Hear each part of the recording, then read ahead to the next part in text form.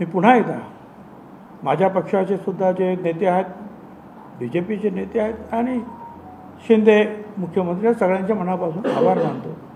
नाशिकमध्ये ज्यांनी ज्यांनी मला पाठिंबा व्यक्त केला स्वतःहून येऊन मग त्याच्यामध्ये सर अनेक पक्षाचे बी जे पीचे तर निश्चितपणे होतेच तेच होते पण इतरांनी सुद्धा जे आहेत की साहेब आम्ही तुमच्याबरोबर राहणार.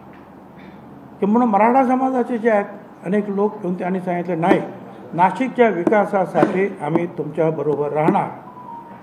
कारण नाशिकचा विकास दोन हजार चौ नऊ ते दोन हजार चौदा या पाच वर्षामध्ये. समीर भुजबळ तिथे खासदार होते मी पालकमंत्री होतो.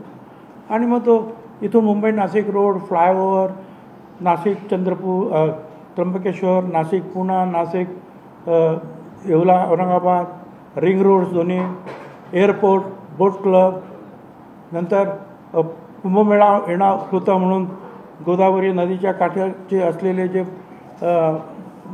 घाट वगैरे वेगवेगळ्या मंदिराचे वगैरे प्रश्न तिथले. तर अनेक कामं जे आहेत रस्त्यांची सुद्धा आम्ही केली होती डेव्हलपमेंट. त्यामुळे त्या नाशिकच्या लोकांचं आमच्यावर प्रेम होतं आणि त्या प्रेमाखातीर त्यांनी सांगितलं की आम्ही तुम्हाला नाशिकच्या विकासासाठी आणि अर्थात मोदी साहेबांचे तिकडे तीन आमदार बी जे पीचे आहेत.